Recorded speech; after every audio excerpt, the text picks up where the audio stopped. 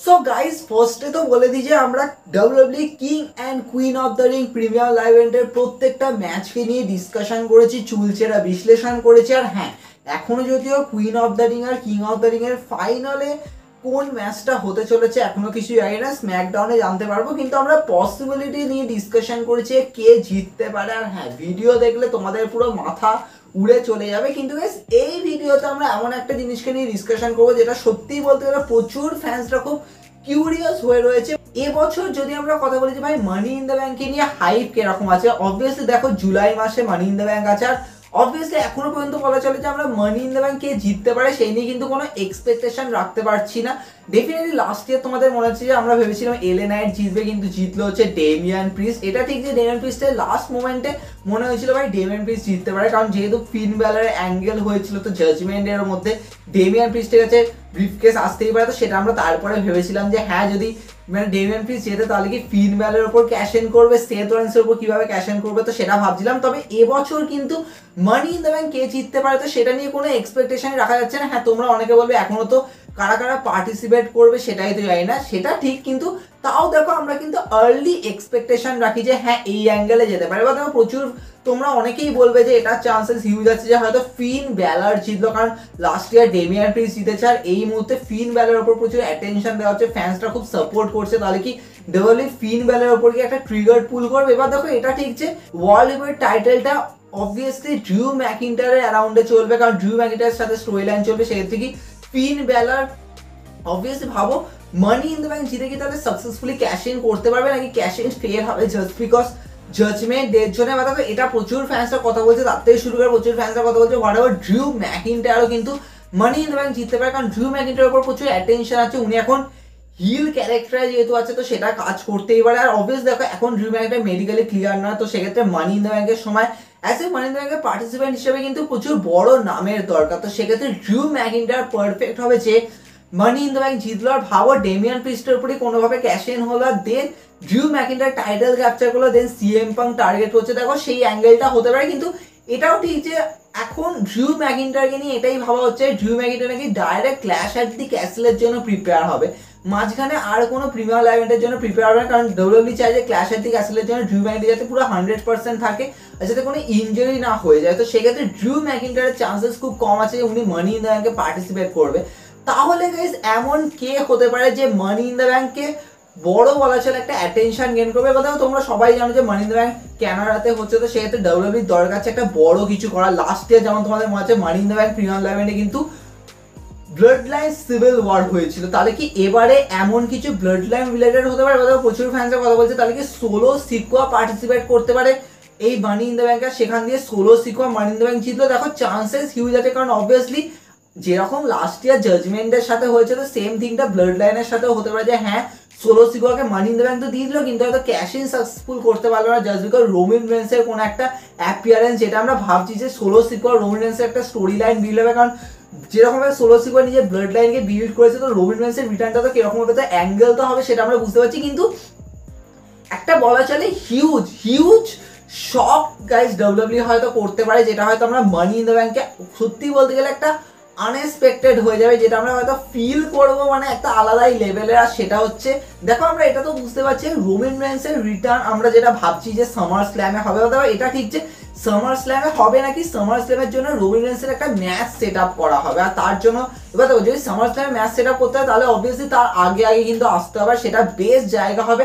Either তো তোমরা ধরে নাও যে ক্ল্যাশ অ্যাট দি ক্যাসেল জায়গা হতেই পারে, একদম পারফেক্ট জায়গা হলো যে রোমেন রেন্সের রিটার্ন ওখানে করল, কারণ ক্ল্যাশ অ্যাট দি ক্যাসেল যেহেতু স্কটল্যান্ডে তো সেখানে একটা বড় অ্যাটেনশন দরকার, তো সেটা একটা ডাব্লিউডব্লিউ করতে পারে। আদারওয়াইজ ডাব্লিউডব্লিউ করতে পারে, সেটা হচ্ছে মানি ইন দ্য ব্যাংক কারণ এই মুহূর্তে ডাব্লিউডব্লিউ চাই যে একটা মেজর অ্যাটেনশন গেইন করতে, আর সেটা কিন্তু money in the bank premium লাইভেন্টে হতে পারে। বা দেখো প্রচুর ফ্যান্সের কথা বলছে রোমিনেন্সের রিটার্ন তাহলে কীরকম অ্যাঙ্গেল হবে? আইদার তো কি এরকম হয়ে যাবে যে উসোসদের কোনো স্টোরি লাইন চলবে, সেখান দিয়ে জিমিয়া জেউসো রিউনাইটের পরে রোমিন আসবে নাকি রোমিন রেন্সের রিটার্ন এমন ভাবে হবে যেটা সত্যি খুব ধামাকেদার, যেমন আমরা সেই সময় সামার স্ল্যামে দেখেছিলাম যে হ্যাঁ রোমিন রেন্সের হিল ক্যারেক্টারটা এসেছিল rack every one and leave আর এবারে সেটাই ফেস টানে আসবে কথা প্রচুর ফ্যানরা বলছে, তাহলে কি রোমেন রেন্সের সামার স্ল্যামে রিটার্ন করবে? কারণ সেক্ষেত্রে কি হবে যে একটা মোমেন্ট বিল্ড হবে, সেটা একটা খুবই ক্লাসিক ওয়েতে হতে পারে, কিন্তু একটা মারাত্মক এক্সপেকটেশন করা যাচ্ছে, এবার দেখো এটা অ্যাঙ্গেল অনলি পসিবিলিটি মানে অনলি পসিবিলিটি সেটাই হবে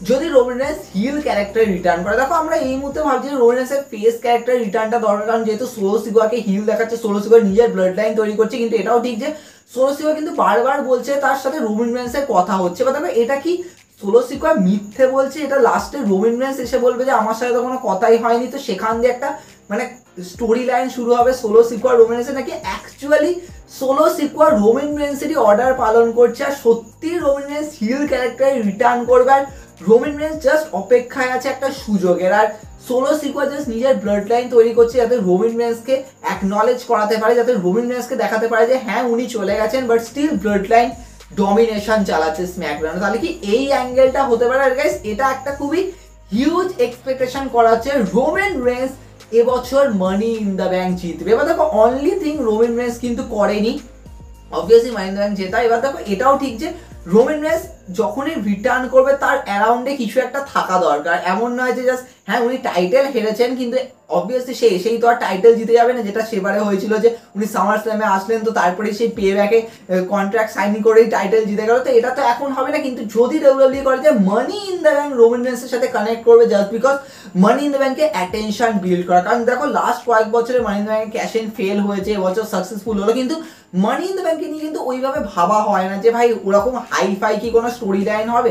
যেটা লাস্ট টাইম সেথ রলেন্স করেছিল ইভেন রেন্ডি অটনও যথেষ্ট ভালো স্টোরি লাইন দিয়েছিল মানি ইন দ্য ব্যাংকের সাথে। তো সেক্ষেত্রে কি তাহলে এটা হতে পারে যে ডাব্লিউডি করবে রোমিন রেন্সের সাথে money in the bank add করার। অবভিয়াস হবে Roman Reigns money in the bank জেতার পরে তার একটা আলাদাই অ্যাটিটিউড থাকবে, ভাবো যে কোনো চ্যাম্পিয়ন সেটা হতে পারে ওয়ার্ল্ড লিভার টাইটেল সেটা হতে পারে আনডিসপিউটেড টাইটেল তো তার অ্যারাউন্ডে মানিন্দা ব্যাংকে নিয়ে মারাত্মক একটা কিন্তু স্টোরি লাইন করতে পারে। রোমিনেন্স বলবে যে আমি যে কোনো সময় টাইটেল জিততে পারি, যে কোনো সময় ক্যাশ ইন করতে পারি মানে সিরিয়াসলি ভাবো রোমিনেন্সকে দিয়ে কিন্তু একটা ভালো স্টোরি লাইন অ্যাড করবে, আর রোমিনেন্সের যে ট্রাইবেল চিফ ক্যারেক্টারটা সেটাও কিন্তু মানি ইন দ্য সাথে কিন্তু যথেষ্ট ভালো স্যুট করবে। তাহলে কি এটার চান্সেস হতে পারে ডব্লিউডব্লিউ রোমেন রেন্সকে এবছর মানি ইন দ্য ব্যাংক যেতে হবে জাস্ট বিকজ রোমেন রেন্সের সাথে একটা হিউজ অ্যাটেনশন বিল্ড করার, সেক্ষেত্রে গাইজ ডব্লিউডব্লিউ অ্যাকচুয়ালি রোমেন রেন্সের হিল ক্যারেক্টারে রিটার্ন করবে, কারণ ফেস হলে সেক্ষেত্রে মানি ইন দ্য ব্যাংক জেতাটা প্রচুর বড় ব্যাপার মনে হ্যাঁ হবে ঠিকই, কিন্তু ওটা যেন স্যুট করবে না যেন মনে হবে, যে ক্যারেক্টারের সাথে। কিন্তু গাইস এটা হতে পারে, কিন্তু গাইস রোমেন রেন্সের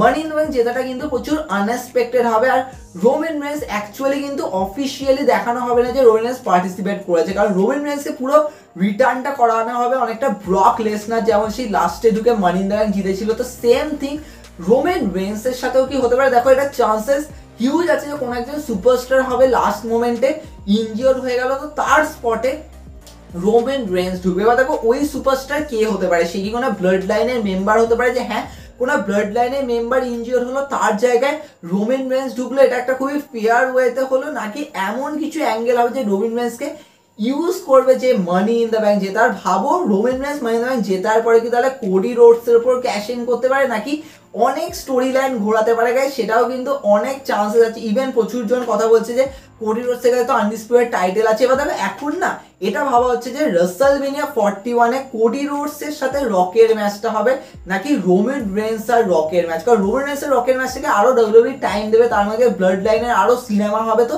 সেখান দিয়ে রোমেন রেন্স রকের ম্যাচ রাসেল মিনিয়া ফর্টি টুতে যাবে। কিন্তু রক রাসেল মিনিয়া ছাড়া আর কোথাও রেসেল করবে না, কারণ রককে আনা মানে একটা খুব বড় অ্যাটেনশন তো সেটা রসেল মিনিয়াতেই হতে পারে। তো সেক্ষেত্রে রোমেন রেন্স আর রকের ম্যাচ রসেল মিনিয়া ফর্টি টুতে হবে, আর রক আর কোডি রোডসের ম্যাচ রসেল মেনিয়া ফর্টি ওয়ানে হবে। আর গাইস এটা হতে পারে যে রক যে মুহূর্তে আসবে অবভিয়াসলি কোডি রোডস যাবে ওই টাইমে কিন্তু রককে করবে। মানে ভাবো আর রক কিন্তু পাশাপাশি থাকবে, কিন্তু রক আর কোডি যে মুহূর্তে ফর্টি ওয়ানে ম্যাচ হবে, ওই ম্যাচের মধ্যেই গাইজ ক্যাশ ইন করতে পারে লাইক সেথ রলেন হ্যাঁ সেথ রলেন্সের ক্যাশ ইনটা যেরকম ছিল, আমি বলব না একদম ওরকমই হবে যে লাস্টে সে দৌড়ে দৌড়ে এসে চলে যাওয়া কিন্তু রোমেন রেন্স পুরো শাহী ভাবে লাস্টে ঢুকবে। আর হ্যাঁ আমরা যেরকম ভাবো যে রোমেন রেন্স রকের সাইডে থাকবে মানে রক রোমিনেন্স এক সাইডে তো সেক্ষেত্রে রোমিনেন্স সাডেনলি রকের ওপর টার্ন করে রোমেন রেন্স ক্যাশ ইন করে দেবে। কিছু বলার নেই গাইস এটা একটা হিউজ প্ল্যান হতে পারে। সেখান দিয়ে কোডি রোডসের থেকে টাইটেল বেরিয়ে যাবে রোমিন রেন্সের কাছে টাইটেল আসবে রক তারপর সাডেনলি ফেস টার্ন হয়ে রোমিন রেন্সকে চেস করবে। কারণ অবভিয়াসলি না কোডি রোডসের থেকে টাইটেল গেছে, কিন্তু রক বলবে যে, এটা তো আমার জেতার কথা, তুই বিশ্বাসঘাতকতা করেছিস, আমাদের সাথে তুই ব্লাড লাইনে কলঙ্ক। তো এরকম ভাবে জাস্ট রক একদিক দিয়ে প্রোমো দেবে রবীন্দ্রনাথ বলে যে ইটস অল অ্যাবাউট গেম আমি ট্রাইবেল চিফ আমি যা করব সেটাই শেষ হবে। তো এখান দিয়ে ফাইনাল বস আর ট্রাইবেল চিফের স্টোরি লাইন স্টার্ট হবে। গাইস এটা একটা মেজর হাইপ হতে পারে যে ডাব্লিউডাব্লিউ করতে পারে যে রোমেন রেন্সের মানি ইন দ্য ব্যাংক দিয়ে প্রথমে তো দেখাবে যে হ্যাঁ উনি রকের সাইডে আছে, কিন্তু তারপরে এখানে ক্যাশিনটা এমনভাবে হবে যেটা একটা হিউজ রোল পে করবে। হয়তো তোমরা অনেকে বলবে, তাহলে কোডি রোডসের অ্যাঙ্গেল কি? কোডি রোডসের তো তাহলে টাইটেল বেন এর হয়ে গেল। দেখো কোডি রোডসকে কখনোই ডাব্লিউডাব্লিউ চাইবে না যে, ভাই, একটা লং টাইটেল রান দেওয়ার। হ্যাঁ এটা ঠিক যে কোডি রোডসের ওপর অ্যাটেনশন দেবে। যেহেতু কোডি রোডস সবাই চ্যাম্পিয়ন হচ্ছে, তো তার টাইটেল বেনকে স্ট্রং তো করবে দেওয়ার নো ডাউট কিন্তু এটাও ঠিক যে কোডি রোডসকে ডাব্লিউডাব্লিউ হয়তো প্ল্যান করতে পারে যে হ্যাঁ রাসেল মেনিয়াতেই হারিয়ে দিল আর তারপরে কোডি রোডসের একটা অন্য চ্যাপ্টার হলো, কিন্তু রোমেন রেন্স টাইটেল জেতার পরে আবার সেই পুরনো ফর্মে রক তারপর চেস করছে। রোমেন রেন্সকে হতে পারে। এটা খুবই স্বাভাবিক যে রোমেন রেন্সের রকের ম্যাচটা যখন হবে, তখন রোমেন রেন্স রিটেন করে নেবে, কিন্তু তারপরে কোডি রোডস আবার টার্গেট করতে পারে রোমেন রেন্সকে সেটাও কিন্তু একটা হতে পারে, কারণ ডাব্লিউডাব্লিউ কিন্তু কোডি রোডসকেও স্টিল স্ট্রং দেখাবে। তাই সেটা কিন্তু হতে পারে, কিন্তু আমার মনে হয় যদি Roman Reigns money in the bank যেতে তাহলে অনলি থিং যে রোমেন রেন্স ভাবো তুমি হিল ক্যারেক্টার ভাই সিরিয়াসলি কিছু বলার নেই। ভাই হিল ক্যারেক্টার রিটার্ন আমার কাছে যথেষ্ট বেশি অ্যাকিউরেট হবে। কিন্তু হ্যাঁ এটা ঠিক যে প্রচুর ফ্যান্সরা বলছে রবিন রেন্স কি রয়্যাল রাম্বল জিততে পারে? যে হ্যাঁ কোডি রোডস আর রকের ম্যাচ হয়তো অ্যাকচুয়ালি রয়্যাল রাম্বলেই হলো। সেখানে কোডি রোডস হেরে গেল রকের কাছে। রক যেই না টাইটেল জিতলো রবিন রেন্স সাডেনলি ফেস ক্যারেক্টারে রয়্যাল রাম্বলে ঢুকে রয়্যাল রাম্বল জিতে গেল। দেখো, আমার মনে হয় যে রয়্যাল রাম্বল রবিন রেন্সকে জেতাবে না। কারণ অবভিয়াসলি আমার মনে হচ্ছে এই মুহূর্তে না কোডি রোডস আর রকের ম্যাচ রসেল মেনিয়া হওয়ার চান্সেস বেশি আছে। তো সেক্ষেত্রে Roman রেন্সকে just money in the bank দিয়ে একটা সাইডে রেখে দেবে। কিন্তু হ্যাঁ রোমিন রেন্স সাথে কি তাহলে সোলো সিকোয়ার ম্যাচ হবে? আমার মনে হয় যে ওই মুহূর্তে হবে না। কারণ, এখন এটা দেখাতেই পারে যে Solo Sikoa Roman Reigns actually একসাথে আর সোলো সিকোয়ার অ্যাকচুয়ালি রোমিন রেন্সের অর্ডার পালন করছে গাইজ সেটা হতে পারে। কিন্তু money in the bank Roman রেন্সের যেটা, এটা আমার মনে হয় একটা খুবই হিউজ হিউজ ইম্প্যাক্ট তবে সত্যি বলতে গেলে এটা নিয়ে এখন একটা বড় ডিবেট চলছে, বড় ডিসকাশন চলছে। তবে হ্যাঁ এটাকে নিয়ে আরও ডিসকাশন করা যায়। অলরেডি আমি করেছি, আরও করব, দেখা হবে নেক্সট এপিসোডে